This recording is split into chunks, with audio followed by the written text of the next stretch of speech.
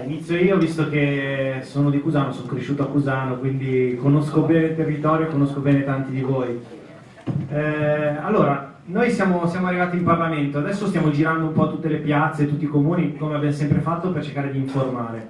Eh, credo che la differenza grossa di quello che facciamo rispetto all'abitudine che abbiamo eh, da, da parte dei politici sia che veniamo a raccontarvi quello che abbiamo fatto non veniamo a promettervi niente, veniamo a chiedervi cosa volete e a dirvi quello che abbiamo già fatto. Quindi eh, invece io mi ero abituato a sentir dire bisognerebbe fare questo, bisognerebbe fare quello, dovremmo cambiare, ah c'è da fare una riforma, però dalle stesse persone che erano all'interno. Quindi se io vi dico qualcosa che dovremmo fare e non l'abbiamo già tentato di fare vuol dire che sto sbagliando qualcosa probabilmente. Allora, noi arriviamo dalla sospensione, io arrivo da una sospensione di 10 giorni che ci hanno, ci hanno, dato perché abbiamo protestato sul decreto IMU Banca Italia.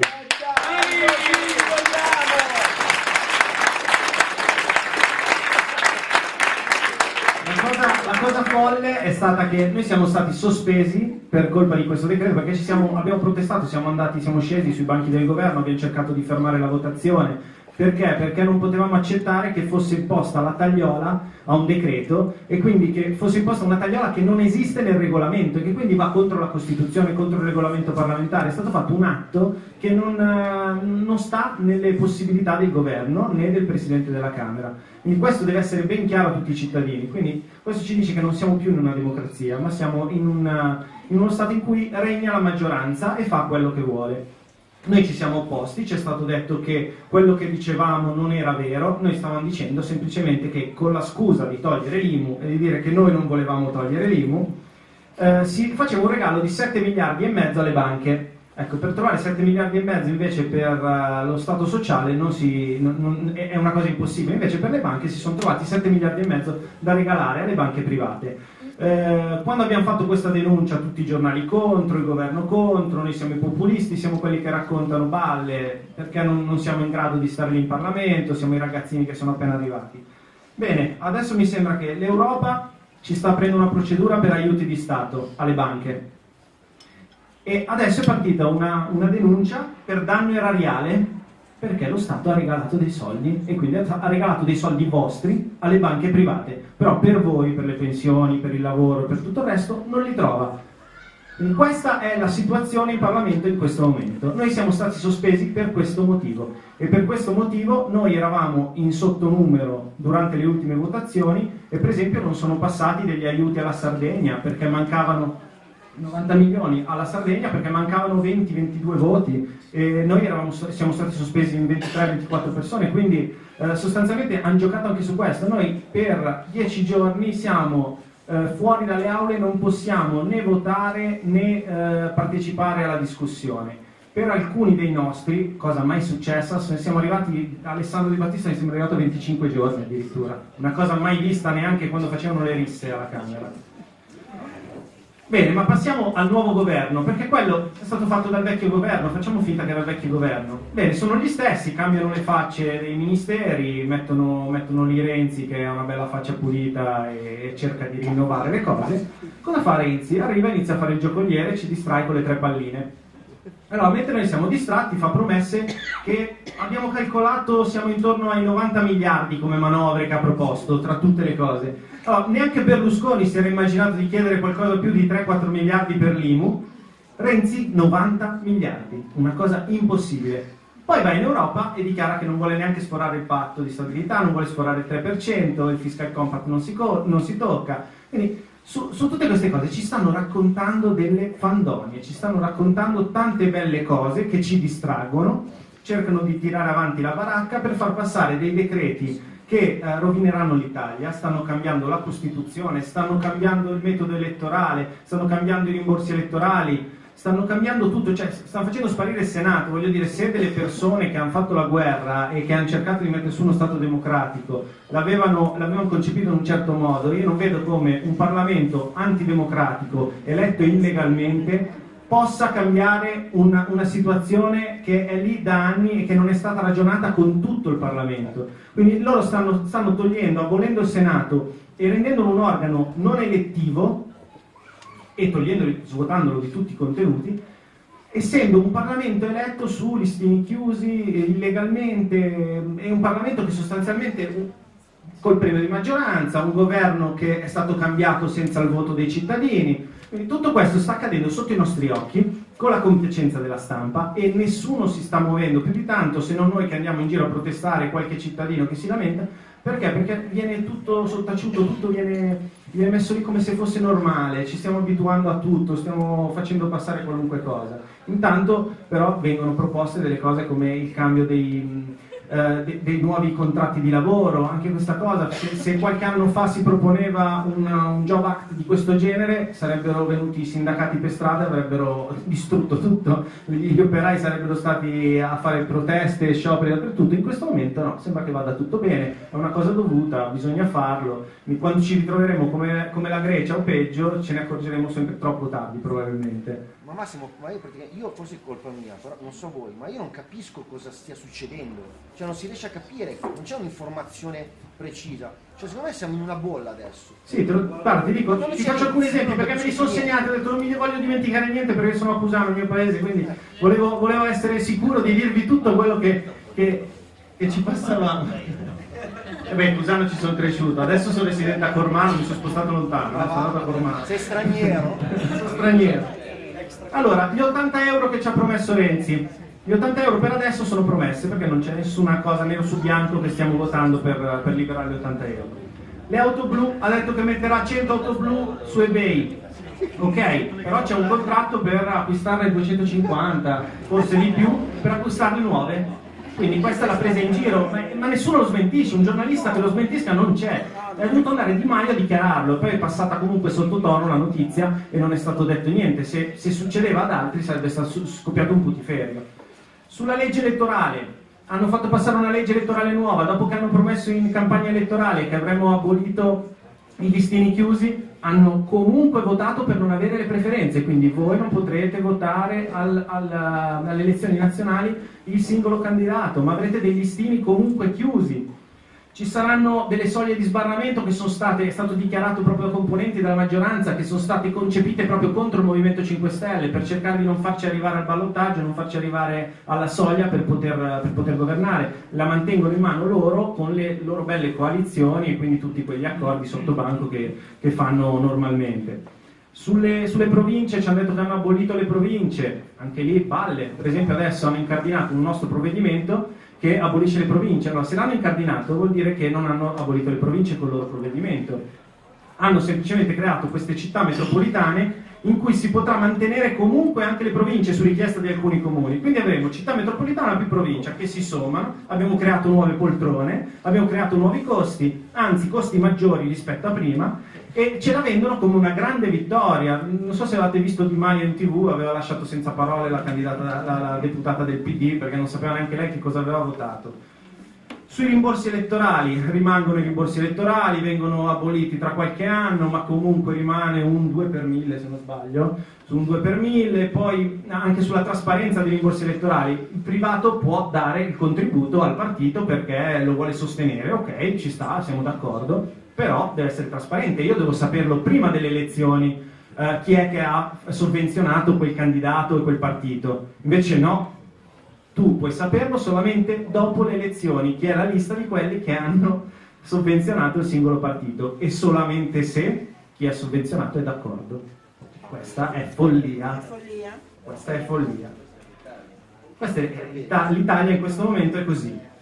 Parliamo degli altri componenti del governo, abbiamo la Guidi allo sviluppo economico, eh, questa è una che ha delocalizzato le sue aziende all'estero e deve fare lo sviluppo economico, sostanzialmente cosa ci possiamo aspettare? Galletti, il ministro dell'ambiente, eh, che è proprio sulla mia commissione, cioè, questo è uno che, dell'UTC che fino a qualche anno fa era per il nucleare e per l'acqua privatizzata.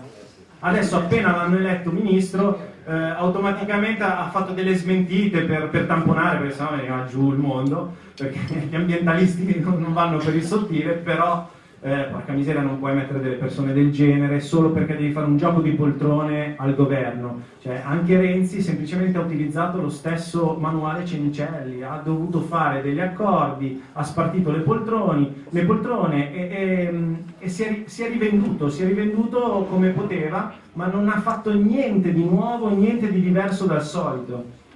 Adesso passiamo alle proposte che abbiamo fatto noi. Sulle piccole e medie imprese, noi abbiamo chiesto che se un'impresa, e questo è passato, eh, se un'impresa con un emendamento, se, se, eh, con un emendamento a un decreto loro siamo riusciti a far passare che se un'impresa che delocalizza ha ricevuto negli anni precedenti degli aiuti di Stato deve restituirli, semplicemente.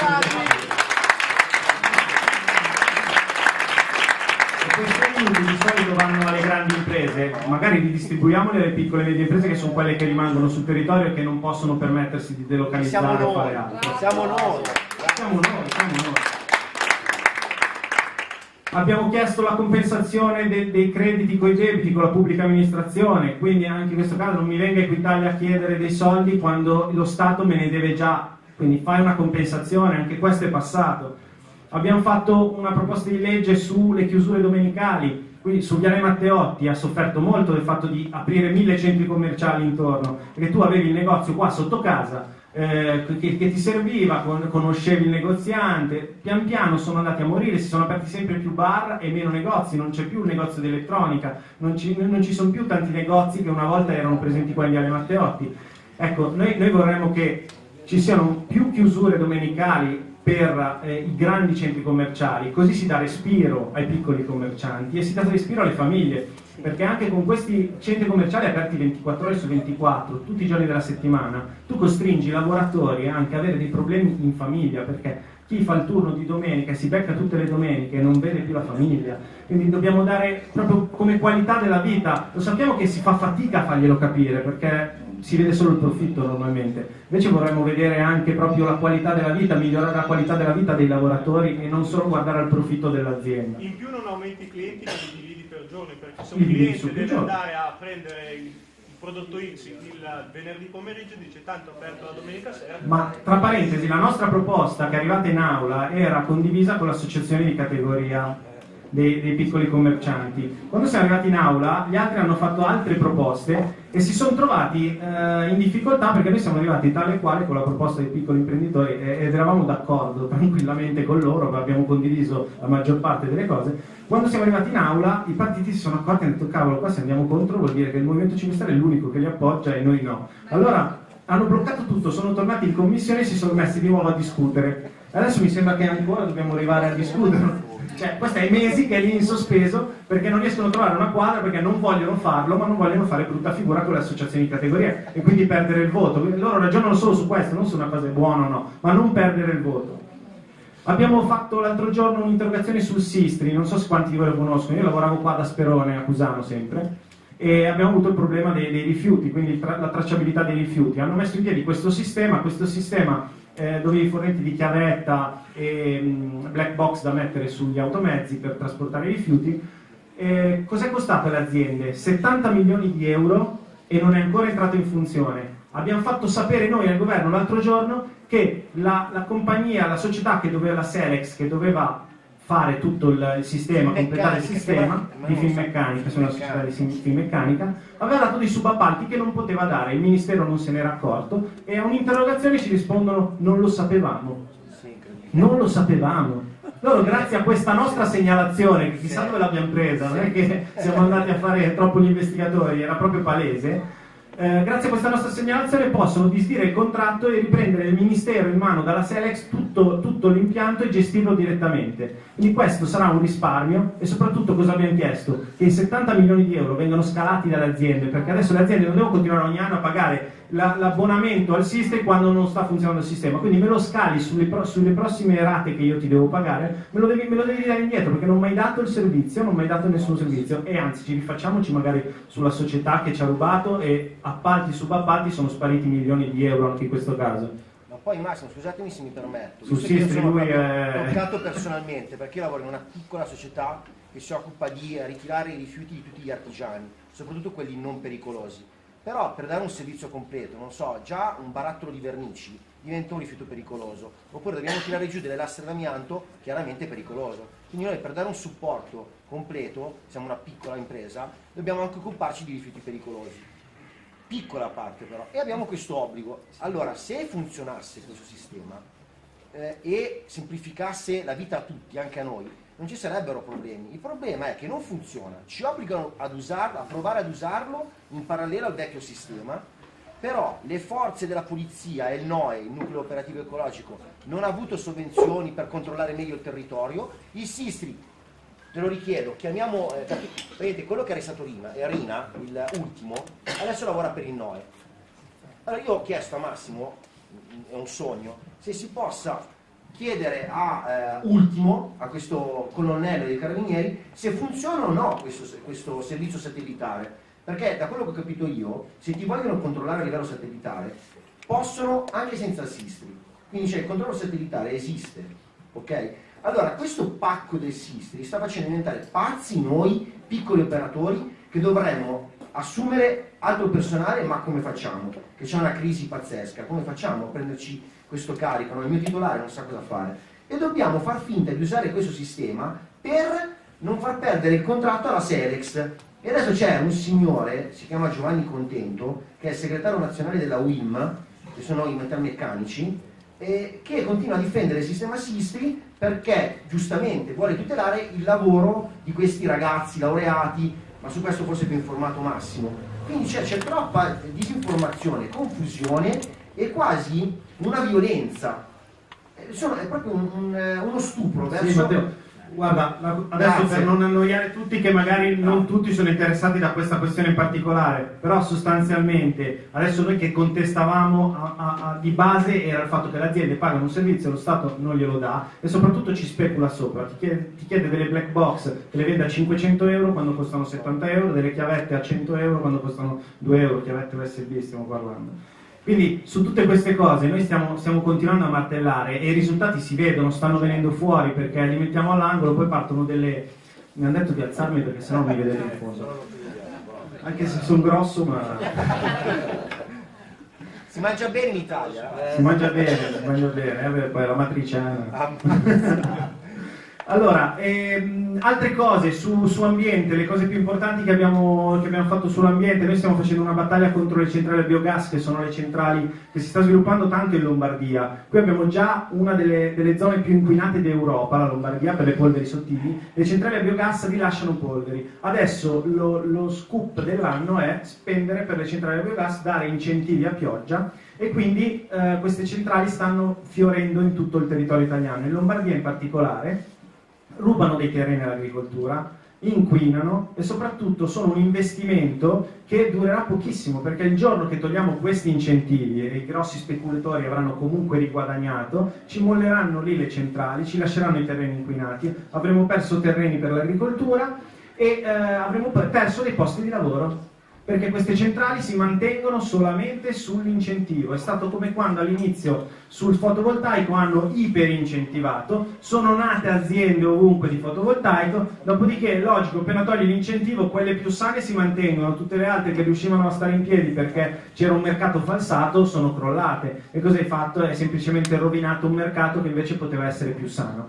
Quindi lo, lo Stato italiano si muove così, senza pianificare, senza fare dei progetti a lungo termine, ma semplicemente dando a pioggia adesso è il momento del, del biogas, prima era il fotovoltaico, domani è dell'eolico. Non, non, si fa nessuna, nessun ragionamento di senso. Sui rifiuti stiamo rivedendo il testo unico ambientale, quindi stiamo rivedendo la strategia sui rifiuti, partendo da un'idea di rifiuti zero, ma anche rivedendo appunto anche la parte degli imballaggi, e quindi non produrre rifiuti per arrivare a avere meno problemi nel trattarli, perché se non li produco automaticamente non, non ho problemi nel trattarli, rivedere le garanzie sui prodotti, se io do una garanzia sul televisore per 10 anni e la do per legge, automaticamente il televisore non ce ne avrò due ogni, ogni, anno da cambiare, ma ne cambierò uno ogni 10 anni perché il produttore lo farà con certi, certe caratteristiche e le possibilità ci sono già tecniche di farlo.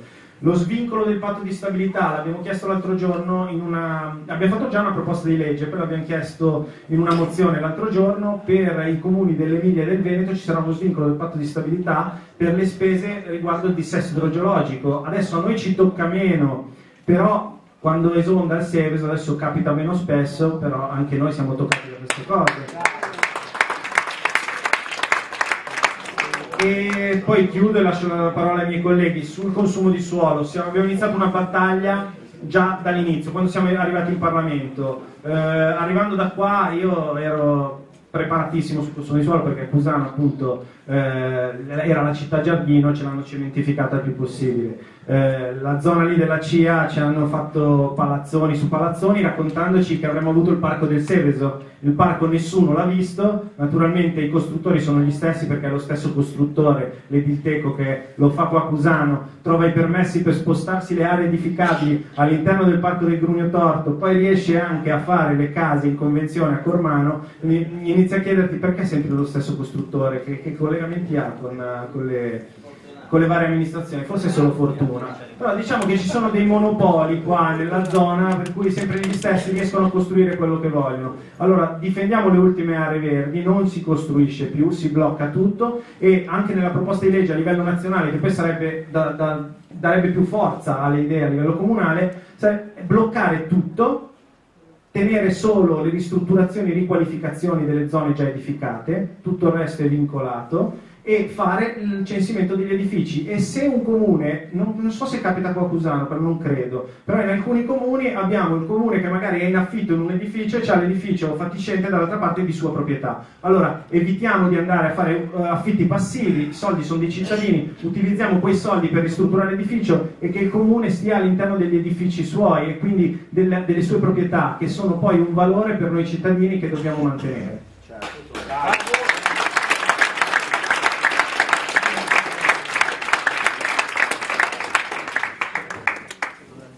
anch'io così ci vediamo meglio. Allora, io sono Giulia e sono venuta a trovarvi da Rimini oggi. Io sono Grazie. E faccio parte alla Camera della Commissione Giustizia della, di un'altra commissione, la Commissione Antimafia, che è una commissione d'inchiesta e della Giunta per le elezioni, non al Senato dove eh, è stato, come ben sapete, esaminato il caso stupendo di Silvio Berlusconi fino a togliercelo dal, dal senatore, ma alla Camera eh, anche lì eh, c'è una Giunta per le elezioni che valuta tutti i 630, le elezioni di tutti i 630 deputati. E eh, molti di voi, io mi rendo conto che eh, io stessa e, e tutti noi non conosciamo minimamente tutta questa marea di persone che in teoria dovrebbero rappresentarci, sono 630, 630 persone eh, che appunto nella maggior parte dei casi non sono conosciute dai cittadini e voi non avete idea della marea di conflitti di interesse che hanno la maggior parte dei deputati di questo Paese. Noi siamo lì a eh, spulciarli tutti uno per uno e stiamo dando battaglia in giunta perché eh, abbiamo il nostro presidente Giuseppe D'Ambrosio del Movimento 5 Stelle che quindi è riuscito ad avere la presidenza di questa importantissima giunta e eh, mentre al Senato hanno già finito praticamente la proclamazione di tutti i senatori, perché è la giunta per le elezioni che li proclama, li proclama eletti, noi invece siamo più lenti perché ci stiamo andando a spulciare uno per uno le posizioni di tutti. E non avete idea di quante belle cose stanno venendo fuori, da Matteo Colaninno e i suoi mille incarichi a eh, persone come Matarrese o Vitelli, deputati che nessuno conosce e che guardate magari te li ritrovi con 30 multi incarichi, questi sono presidenti di società, eh, amministratori delegati di qualche società, poi magari sono nella stessa commissione da dove eh, fanno delle leggi per loro stessi e per le loro stesse società. È un cane che si morde la coda e non c'è nessuno che controlla questa marea di conflitti di interesse. Guardate, noi stiamo facendo una battaglia immensa in giunta perché non avendo in questo cavolo di paese una legge seria sui conflitti di interessi, noi ci ritroviamo con due articoletti che dovremmo applicare, che sono due articoli del 1957 perché queste leggi non sono mai state riformate in tutti questi anni, e non riusciamo a trovare eh, il modo, stiamo lì a cercare l'interpretazione a livello giuridico, ci stiamo scervellando per cercare di far valere appunto il, un semplice principio, e cioè che se tu sei eh, amministratore delegato o presidente di una società partecipata dallo Stato, che ha pigliato finanziamenti pubblici dallo Stato e incarichi, a volte anche milionari dallo Stato, tu non puoi fare il deputato e essere in una commissione dove ti mandi i soldi e arrivano magari alla tua società.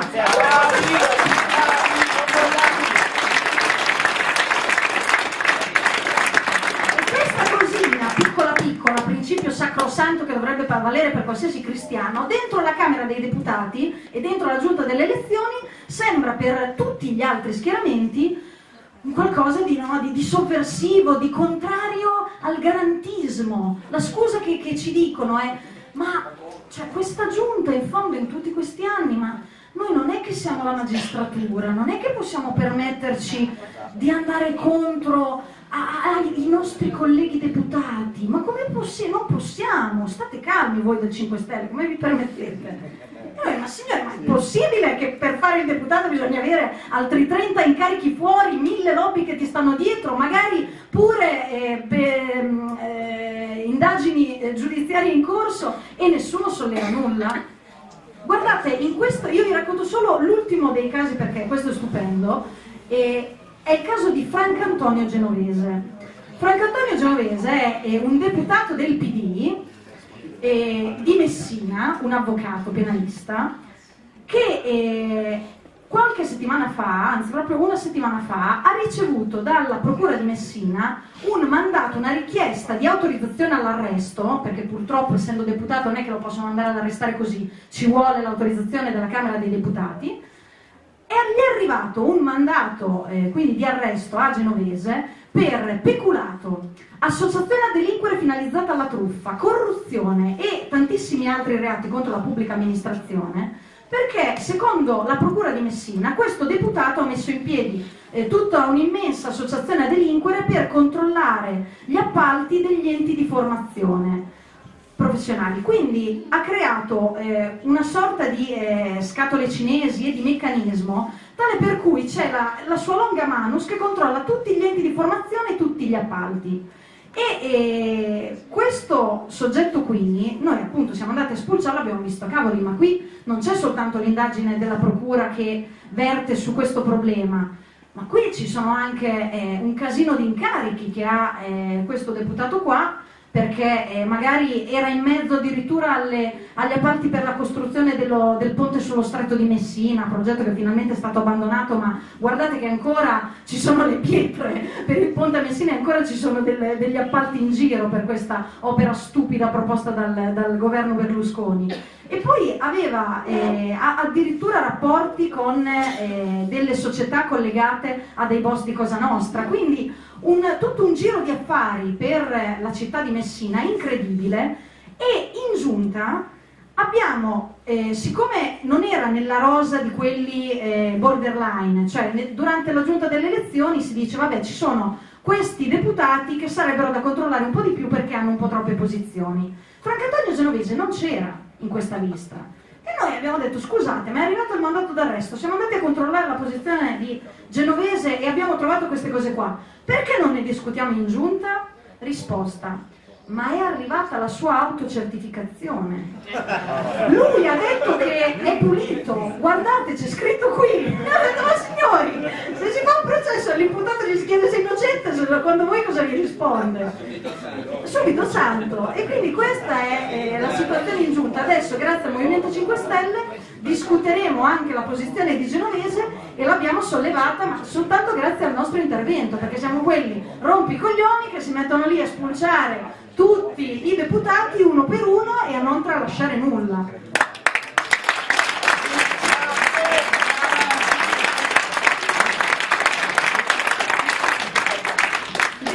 continuo un po' con la saga del governo Renzi come, come vi ha già raccontato Massimo.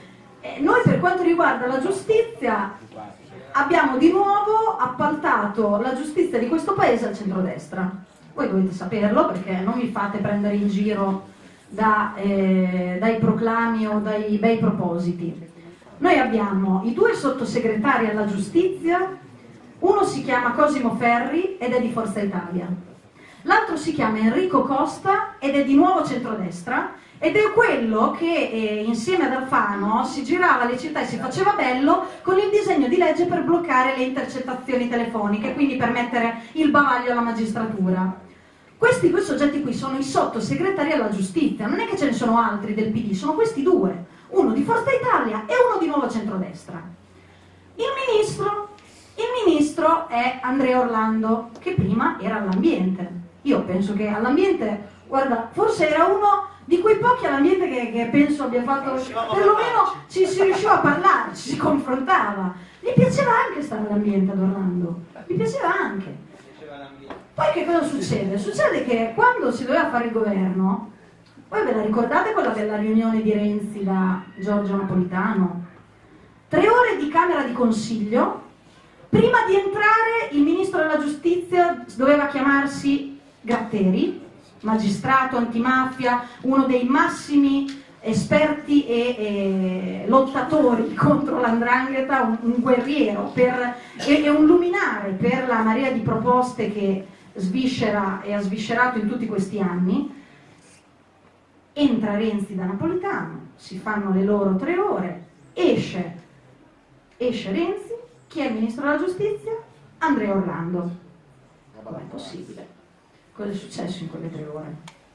È successo che come al solito, come al solito, in tutti questi anni si è visto, ma in quest'ultimo anno e mezzo noi lo stiamo vedendo ancora di più, su ogni decisione grossa, importante che viene presa in questo paese, c'è la bocca e c'è lo scettro, come l'abbiamo chiamato, del Presidente della Repubblica. In questo paese non c'è nessuno, nessuno, a parte noi che gli abbiamo presentato la messa in stato d'accusa, in grado di mettere e di riportare il Presidente della Repubblica alle sue responsabilità e soprattutto ai suoi compiti. Se voi vi leggete la Costituzione, non c'è scritto da nessuna parte che il eh, Presidente eh, del Consiglio deve andare a eh, scriversi la rosa dei ministri insieme al Presidente della Repubblica. Non c'è scritto, non è il Presidente della Repubblica che deve decidere i ministri. Non è questo il suo compito. Eppure, eppure, Napolitano non ha voluto Nicola Gratteri e ci siamo ritrovati Andrea Orlando perché Andrea Orlando è più garantista. Eh, capito. Essere più garantista significa in questo paese ormai una semplice cosa, perché te, la, te le mascherano poi le parole. Il garantismo in realtà dovrebbe essere qualcosa di, di, di pulito, eh? sono due visioni nel nostro sistema penale, ma essere garantista in questo paese significa non, non, eh, non fare la vera guerra a chi se lo merita, non fare la vera guerra alle mafie innanzitutto, ai colletti bianchi ancora di più, non fare delle leggi che servano a questo paese per liberarsi da uno dei cancri peggiori che abbiamo, che è la corruzione dilagante, che è arrivata ed è palese da nord a sud, ma non c'è veramente nessuno che abbia voglia di mettere le mani a questo sistema così marcio che ci ritroviamo noi ogni giorno. Nella grande spending review di Cottarelli, sulla corruzione e su un altro istituto molto importante che si chiama prescrizione, non c'è nulla. Noi abbiamo avuto il governo Monti che ha tentato di mettere le mani alla corruzione con una legge, diciamo una goccia nell'oceano, una legge Severino che si chiama la legge 190 del 2012, che ha tentato di intraprendere una strada per colpire di più i colletti bianchi.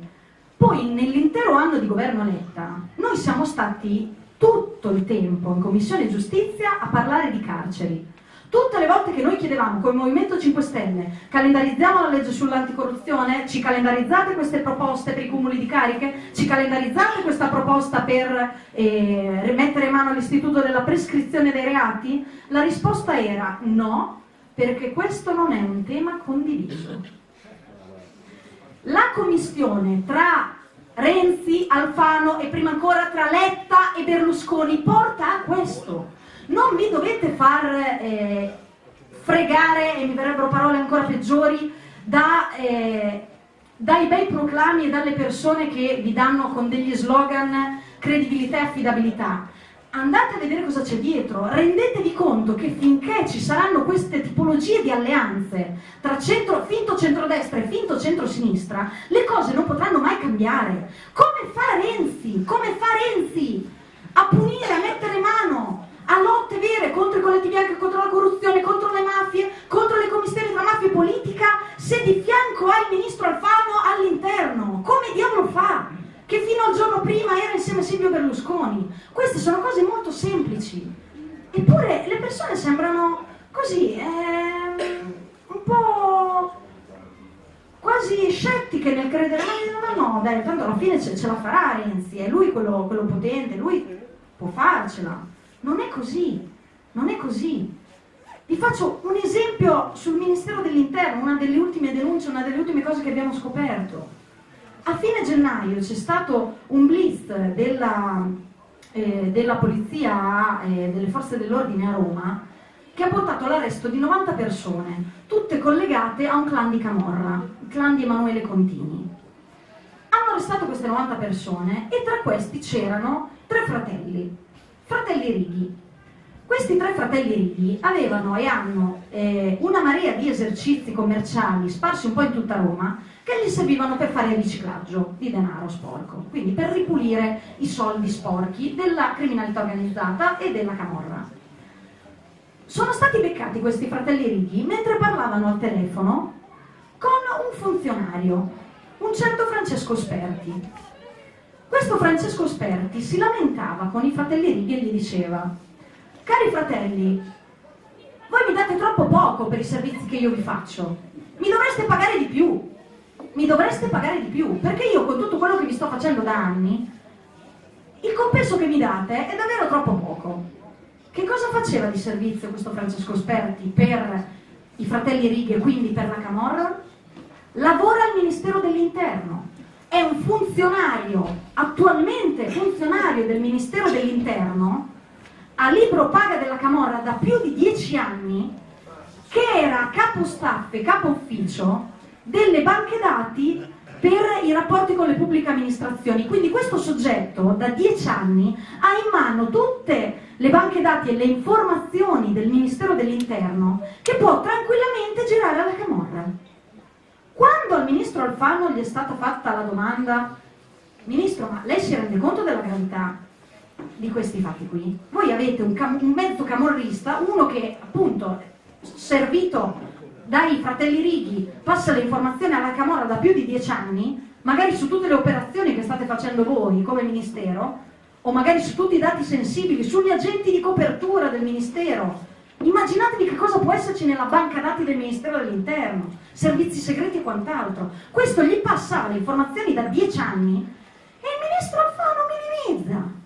Dice, ma no, ma guardi, io non lo so quando è stato assunto questo qui, io ero alle elementari, lei, anzi io ero all'università, lei signorina era alle elementari. Adesso controlleremo, vedremo, ci faremo dare le informazioni, qualcosa faremo. Se lei me lo chiede in Parlamento le risponderò. Eravamo in commissione antimafia, ma rispondimi adesso. No, se lei me lo chiede in Parlamento mi faccio un'interrogazione le rispondo. Questo è il nostro ministro dell'interno, per non parlare poi di tutto quello che ha fatto in passato, ma questo è un episodio di un mese e mezzo fa un mese e mezzo fa. Allora, davanti a queste schifezze, lo vogliamo capire che il fatto di avere dei ragazzi, delle persone liberi da lobby, liberi da qualsiasi tipo di interesse, onesti, senza precedenti penali, che stanno qui davanti a voi e vi dicono noi non facciamo, noi non facciamo della politica un mestiere per tutta la vita. Noi stiamo qui due mandati e poi saranno altri a prendere il nostro posto. Massimo due mandati. Perché? Perché non ci vogliamo sporcare. Non ci vogliamo sporcare perché la politica è un servizio, non è un mestiere.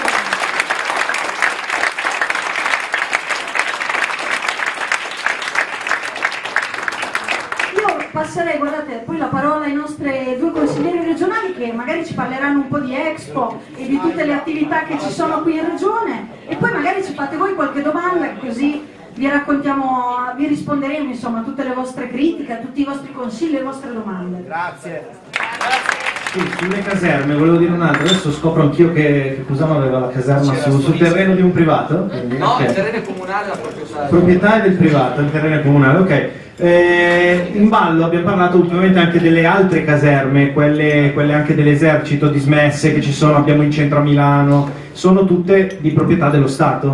Quindi queste caserme cosa hanno pensato di fare? Di svenderle naturalmente perché devono fare cassa e con, questi, con, con queste caserme saranno svendute con la possibilità di fare degli abusi edilizi all'interno. Questo mentre stiamo approvando una legge sul consumo di suolo e sulla tutela del territorio. Quindi uno potrà, ma neanche un abuso classico, diciamo, prendo, prendo, il terreno, lo acquisto, so che ci hanno già fatto un abuso, lo posso sanare, perché non è colpa mia. No, no, ho un anno di tempo da quando l'ho acquistato per fare l'abuso e poi sanarlo. Cioè queste sono cose che non, non, ci spiegano, non ce le dicono. E questo me lo devo sentir dire, vedere votare dal Presidente della Commissione Ambiente alla Camera, Realacci, Lega Ambiente, e poi vedere il giorno dopo che vengono al convegno sul consumo di suolo a dire dobbiamo tutelare il nostro territorio, dobbiamo tutelare il paesaggio e tutto questo prendendoci in giro. Un, un aneddoto che è successo l'altro giorno, eh, sono lì al convegno sul consumo di suolo, c'è ISPRA che sta facendo praticamente un po' riassunto di qual è la situazione italiana, qual è il consumo, si, come siamo messi rispetto all'Europa e tutto il resto. Bene, arriva a un certo punto come relatore Formigoni Formigoni, che dovrà mai dire? Si siede lì e dice sì, dobbiamo tutelare il suolo, dobbiamo difenderlo. Io non ci ho visto più quando sono intervenuto, ho detto mi dispiace che Formigoni se n'è andato perché arrivano, fanno la loro presentazione e se ne vanno, naturalmente non stanno lì a ascoltare.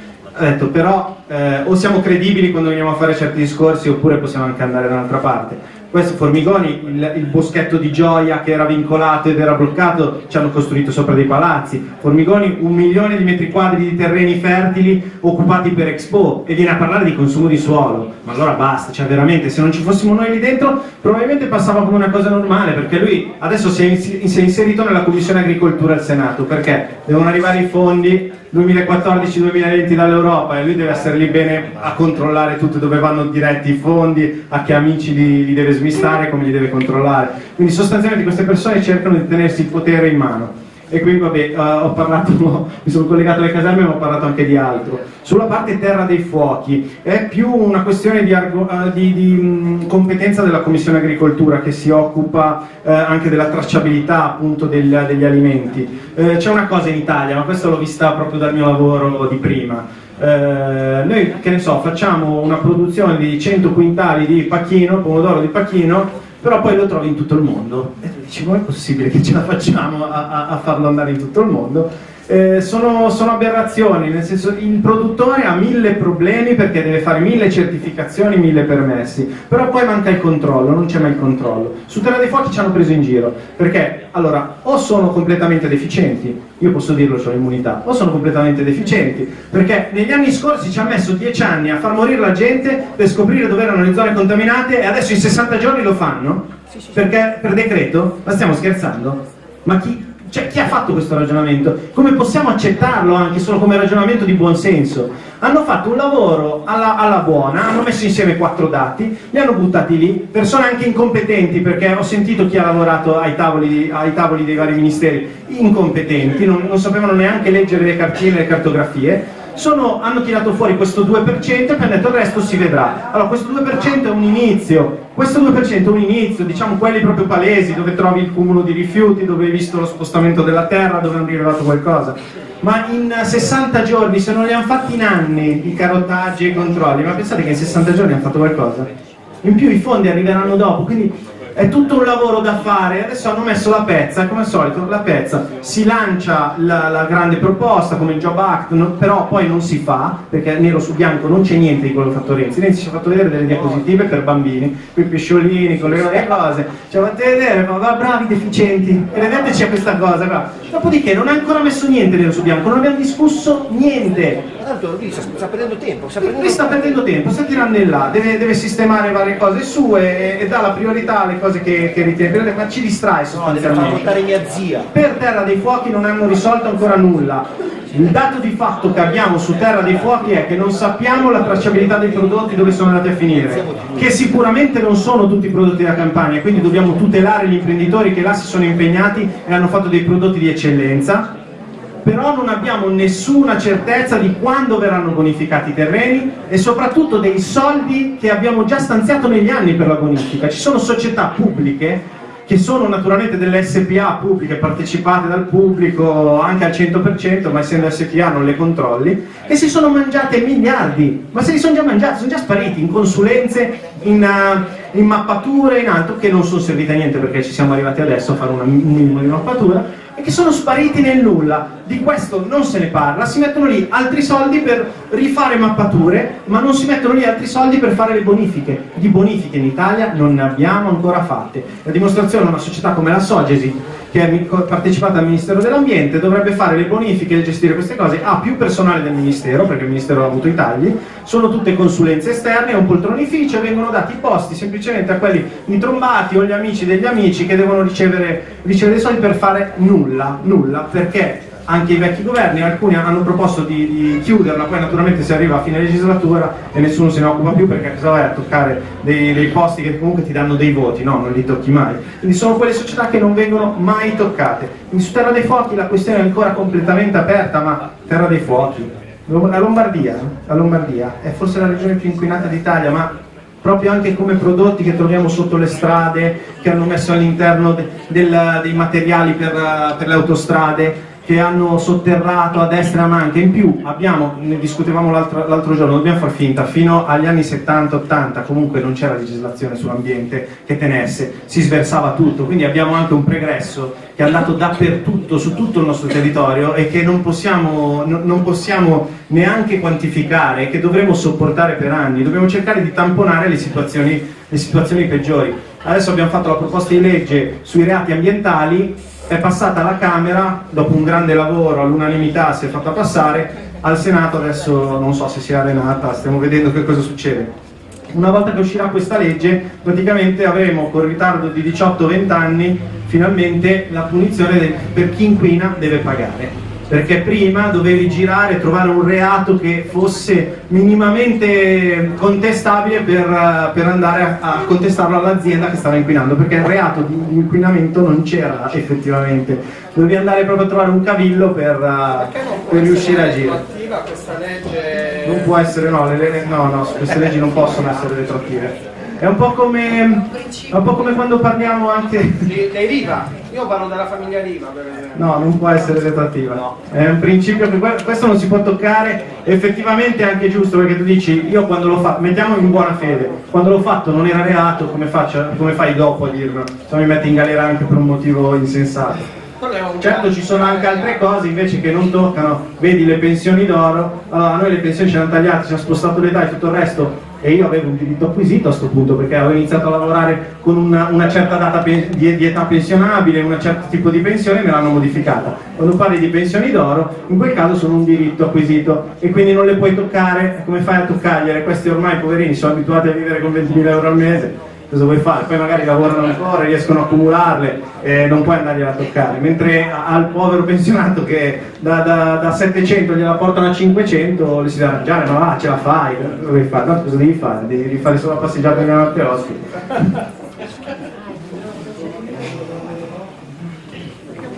Allora finisco con il resto delle domande in velocità su eh, legalizzazione droghe e prostituzione. Sono due temi che davvero prenderebbero... Certo, ovvio, legalizziamo, legalizziamo cocaina e non siamo mai.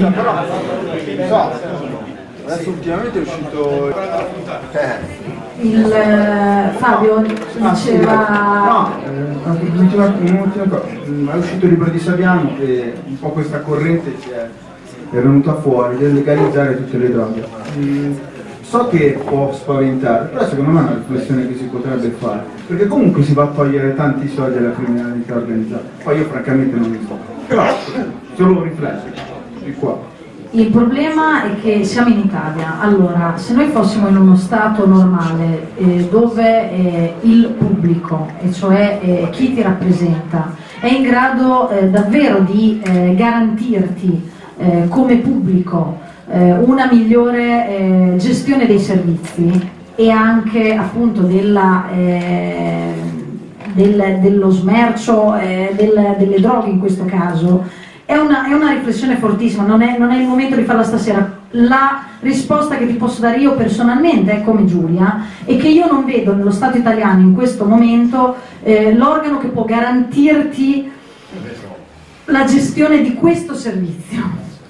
Okay? Perché eh, guarda che cosa succede con la scuola pubblica, guarda che cosa succede con le ferrovie dello Stato, guarda che cosa succede con tutti i servizi, quelli anche più semplici che vengono gestiti in questo momento. Allora, noi prima, se crediamo nello Stato, dobbiamo impegnarci per pensare a questi servizi, che sono quelli più importanti per la nostra cittadinanza. Quando saremo un paese normale e corretto, allora forse potremo eh, anche tentare altre strade, però prima dobbiamo ridiventare credibili come Stato, come servizio pubblico. Quando lo avremo rimesso a posto ci saremo tolti tutte quelle partecipate inquinate dove si infila la criminalità organizzata, quando saremo diventati di nuovo credibili, allora affrontiamo anche questo discorso. Altrimenti finisce che se tu legalizzi tutte le droghe adesso, basta la società come al solito dei tali che si infila della criminalità organizzata e, e, ti diventa pulita e lo Stato che, eh, che cosa fa? Abdica di nuovo abdica di nuovo alla criminalità organizzata molto più intelligente di noi in questo momento, che è già avanti, che ti ha già dimostrato come riesce a infilarsi in qualsiasi subappalto o piccola fornitura o consulenza esterna del comune, come riesce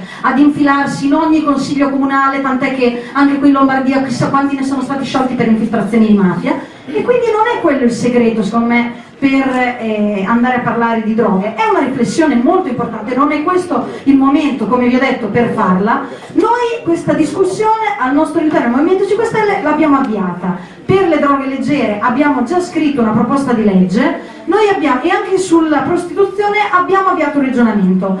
Quello che vi volevo lasciare come messaggio è che noi abbiamo, non ne abbiamo parlato fino ad ora, ma è importante ricordarlo, un sistema che si chiama LEX cioè se voi vi iscrivete al Movimento 5 Stelle e andate su movimento5stelle.it, voi potete iscrivervi e potete attraverso questo sistema operativo guardare tutte le proposte di legge del Movimento 5 Stelle ve le leggete e le potete andare a discutere sulla rete, potete andare a fare delle modifiche, a lasciare il vostro commento, a dire no ma io eh, in questo articolo lo scriverei in un altro modo, no ma questa legge così come l'avete scritta a me non piace. Noi chiediamo a tutte le persone che hanno delle competenze anche ai semplici curiosi di andare sul nostro sito movimento5stelle.it, guardare le nostre proposte di legge, tra cui quella delle droghe leggere e quella sulla prostituzione, e scrivere, scrivere i vostri commenti per discuterle. Noi abbiamo creato questa rete che ci permette di portare direttamente poi in Parlamento, perché poi noi le depositiamo, le proposte con il vaglio dei cittadini perché non vogliamo appunto che sia una discussione che parte solo da un gruppo parlamentare formato da 150 deputati e senatori. Questi sono temi che riguardano tutti. Allora, come si chiede il referendum popolare, che quella sarebbe la migliore strada, visto che ancora non si può fare, noi intanto vi mettiamo a disposizione il nostro sito internet con le nostre proposte che voi potete tranquillamente discutere sulla rete. Qualcosa che nessun partito aveva mai fatto prima.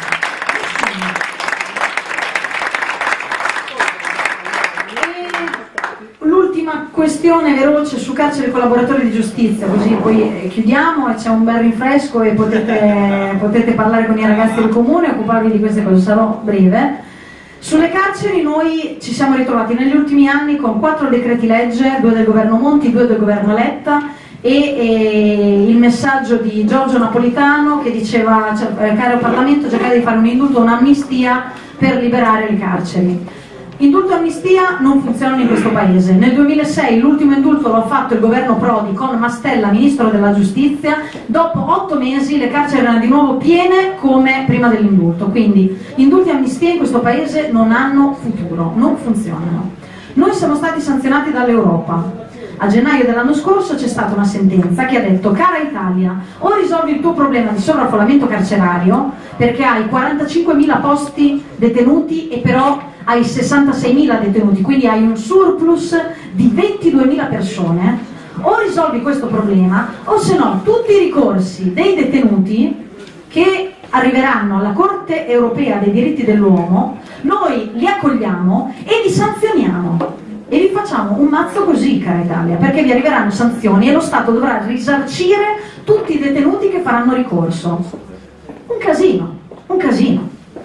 Quindi il governo Letta, diciamo, bene, farà qualcosa di serio eh, in, eh, con, con, in questo anno. E invece no, ha fatto due decreti che non sono serviti a nulla, sono stati semplicemente una marchetta, a volte per le società che avevano i braccialetti elettronici, un'altra volta con uno sconto di pena applicabile a mafiosi, stupratori, assassini, tutti. Tutte cose che abbiamo denunciato in questo anno noi Movimento 5 Stelle cosa abbiamo fatto? In piena estate, mentre c'era eh, la eh, ex ministro Cancellieri che faceva il call center dei Ligresti e cercava di far liberare la figlia dei Ligresti, noi eh, Movimento 5 Stelle siamo andati da Giorgio Napolitano e anche dal ministro Cancellieri con il nostro piano carceri.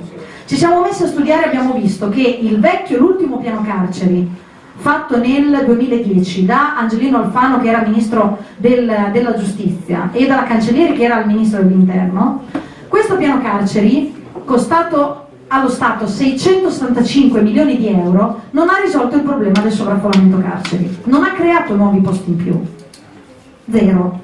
Quindi noi abbiamo, ci siamo messi lì, grazie al Dipartimento dell'amministrazione penitenziaria, il DAP, che si occupa appunto proprio di carceri, abbiamo preso un piano che era stato, avanzato, era stato portato avanti anche da, dai loro funzionari, lo abbiamo studiato, lo abbiamo messo a posto e lo abbiamo portato direttamente nelle mani del Ministro e del Presidente della Repubblica.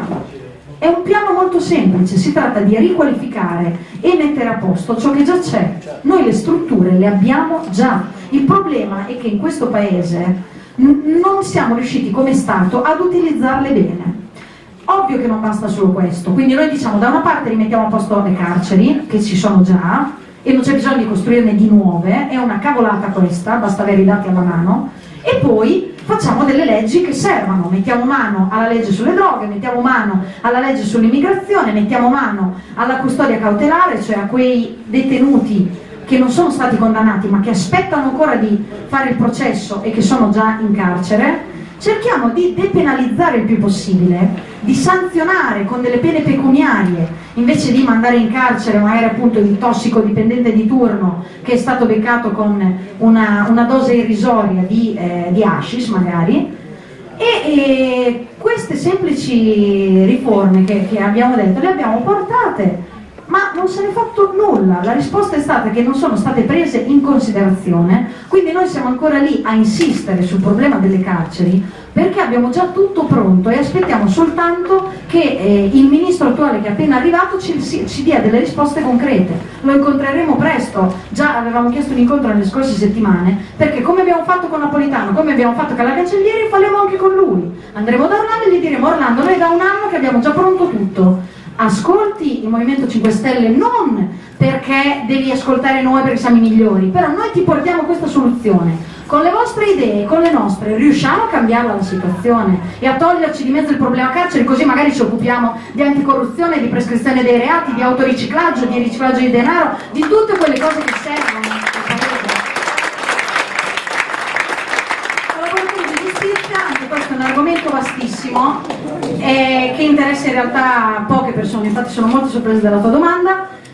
I collaboratori di giustizia e i testimoni sono due cose diverse. I testimoni di giustizia sono i cittadini comuni, molto spesso o imprenditori o persone della società civile, spesso e volentieri imprenditori, che eh, magari assistono eh, ad, un, eh, ad, un, reato, spesso sono gli imprenditori che denunciano il pizzo che gli chiede eh, la criminalità organizzata e quindi non sono mafiosi, sono persone che si mettono nelle mani dello Stato, che fanno una scelta coraggiosissima di andare a denunciare quello che sanno. Spesso dalle loro denunce, dalle, eh, dal loro gesto partono dei processi e loro appunto testimoniano durante il processo. I collaboratori di giustizia invece sono quei soggetti eh, mafiosi che per, sono stati condannati e per, eh, avere, eh, per riuscire a, ad, ad, ottenere dei benefici penitenziari decidono di, di collaborare con la giustizia.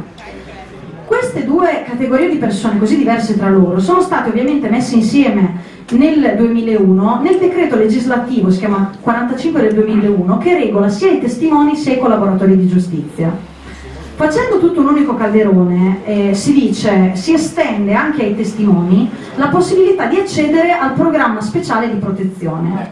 Se tu dai delle informazioni che allo Stato servono, io Stato devo cercare di proteggerti, che tu sia eh, un mafioso, che tu sia un cittadino comune. Perché? Perché altrimenti la criminalità organizzata potrebbe arrivare e ammazzare te, la tua famiglia o chi per loro e quindi lo Stato cerca di tutelarti. Problema qual è? È che eh, per quanto riguarda i testimoni di giustizia, soprattutto io parlo di loro perché sono i casi che stanno più a cuore, lo Stato in questi anni non è stato in grado di garantire a queste persone la dovuta eh, protezione, non perché non funziona bene lo speciale programma di protezione, ma perché quando escono queste persone dal programma o eh, magari anche prima di entrarci, eh, soprattutto quando escono, sono delle persone lasciate sole sole. E anche quando sono all'interno del programma, gli viene tolto tutto, non hanno più la loro identità, magari vengono tolti dal loro paese di origine ovviamente. I problemi dei testimoni sono, eh, guardate, una, una miriade, in questo anno noi ne abbiamo incontrati moltissimi. La situazione peggiore per me è quella di vedere eh, persone che, eh, mi, che mi continuano a dire se tornassi indietro non farei la scelta che ho fatto. Se tornassi indietro io non denuncerei la mafia, l'andrangheta o la camorra. Se tornassi indietro io farei una scelta diversa. E questo è preoccupante.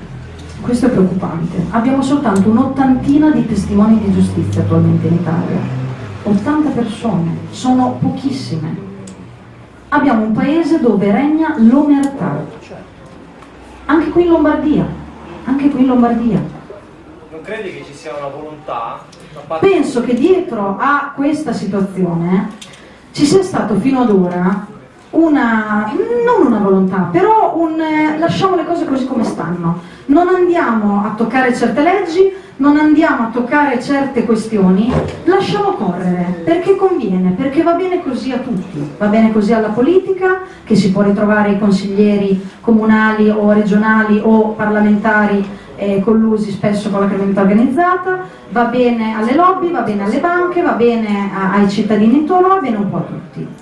Ecco, noi come movimento vogliamo cercare anche qui di cambiarla questa situazione. Quindi stiamo studiando il decreto legislativo da, da, da un po' e stiamo cercando di proporre eh, insieme ai ministri e sottosegretari competenti delle misure per cercare di eh, far aumentare far aumentare questi cittadini che denunciano e tutelare anche in qualche modo i collaboratori di giustizia, perché non è possibile, non è possibile che grazie a questa legge del 2001 tu hai il mafioso che ha sei mesi di tempo per denunciare quello che ha visto in tutta la sua attività. Il mafioso ha sei mesi di tempo per parlare e dire tutto quello che sa. Dopo i sei mesi, quello che lui dice non può più essere utilizzato nel processo perché non ha più valore probatorio in dibattimento. È una cosa gravissima. Voi rendetevi conto, questa è una denuncia che fanno tutti i magistrati. Il mafioso di turno, che magari è da vent'anni che ha commesso dei reati anche gravi e che ha avuto una serie di rapporti con politici, imprenditori, banchieri e quant'altro, avvocati, commercialisti, eccetera, come fa in sei mesi a raccontare tutto? Quando magari gli interrogatori non è che il magistrato può interrogare tutti i giorni. E magari poi scappano fuori delle cose con il tempo. Se vengono fuori delle cose dopo non si può più dire nulla, non possono più essere utilizzate. E guardate che gli avvocati di Dell'Utri, nel processo che c'è attualmente sulla trattativa Stato-mafia, l'ho sentito la scorsa settimana a Rebibbia, al carcere di Rebibbia, nell'aula bunker dove si è fatto il processo sulla trattativa, l'avvocato di Dell'Utri faceva leva proprio su questa cosa qui. Diceva, ah ma le dichiarazioni di Spatuzza, collaboratore di giustizia, sul coinvolgimento di Berlusconi e di Dell'Utri nella trattativa Stato-mafia che ha portato alle stragi 92-93 sono state fatte dopo i sei mesi. Quindi tu, giudice, non puoi prenderle in considerazione. Per fortuna, per fortuna che abbiamo dei magistrati in questo paese, sono rimasti in pochi ma ci sono, che riescono attraverso l'interpretazione delle norme a superare questo, questo problema dei sei mesi. Ma il, pu- il, punto è che finché abbiamo queste leggi mettiamo in difficoltà anche la magistratura che si ritrova appunto davanti a queste situazioni inerme spesso e volentieri.